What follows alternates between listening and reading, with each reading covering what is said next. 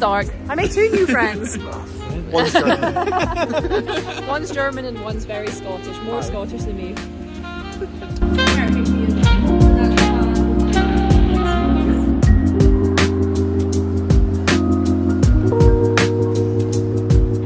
So I'm going to do a magic trick, courtesy of Dana. She showed me this morning, but she's too shy and doesn't want to show you. So we have coins.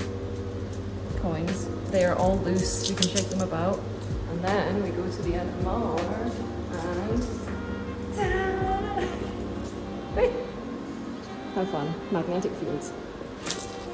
Hello friends and happy Thursday. I am not in Aberdeen, I am in Edinburgh. That's where I'm starting the vlog. I think I already showed you some clips of the event that I was at yesterday. So the reason that I'm in Edinburgh, I'm here for two events. The event yesterday was for the whole cohort of awardees that were awarded the funding, um, the same funding that I got to go to France. So that was called Team Saltire networking event. I'm just gonna stop for a minute because I'm very out of breath from walking up a hill. So it was this Team Saltire event, which was basically the funding cohort, all the awardees. We had a series of workshops. So one of the workshops that I went to was how to create good visuals for your research. So that was quite helpful. Learned a few apps that you can use to make figures uh, for publications or for your thesis. I also went to two workshops on leadership and teamwork and also decision making and teamwork so they were really useful as well. Then we had a little ceremony in the evening it was a drinks reception and yeah it was really really nice. I got to meet so many new people from different scottish universities and people doing lots of different science and not even just science like social sciences and uh, humanities and arts as well. And it was really lovely but i am very tired because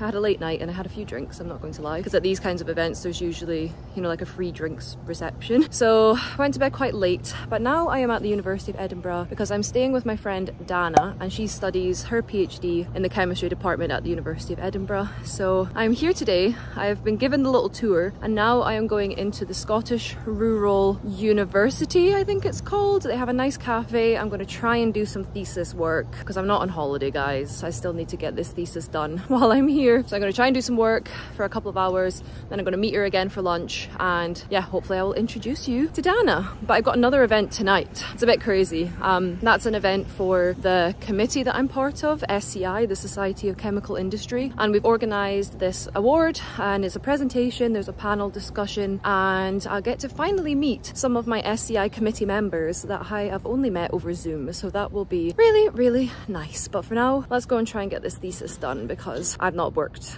very much this week. Hello friends, it is now Thursday. This week has been so busy, honestly.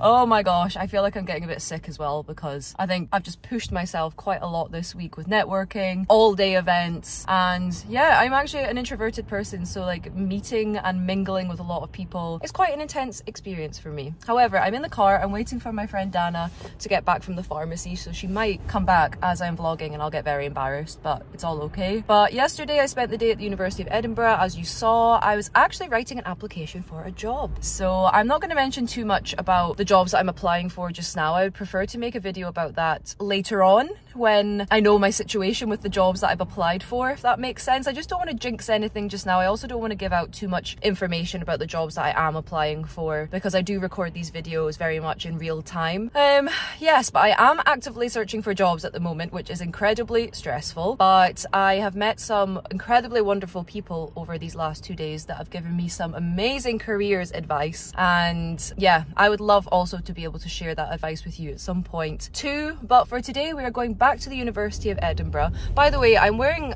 the same jumper again because I don't know why, but because I'm in Edinburgh, which is a couple of hours south of Aberdeen, I thought, yeah, it's going to be warm or warmer than Aberdeen, so I won't need too many jumpers. I'll just bring one. Wrong. I needed a few jumpers so I could have at least a change of outfit, but no, I'm wearing the same jumper. But anyway, back to the point. I'm going to the University of Edinburgh today. Today we are going to work on the thesis. I also have to do some planning for this event that I am running in January, and I'm going to try and have a good few hours hours of focused, productive work. And then Peter, my partner, is coming and we are going to enjoy Edinburgh for the weekend. I am going to have some fun. it's been a really great few days and it, it, this has reminded me about why I love academia. You get this opportunity to go to these events, meet people from all over uh, that are doing different kinds of science. You can get advice and inspiration from other people and it has been really, really nice. I will try and tune in with you later on, but for now, I'm just going to wait for Dana to come back and figure out what I need to do regarding my thesis for the rest of the day.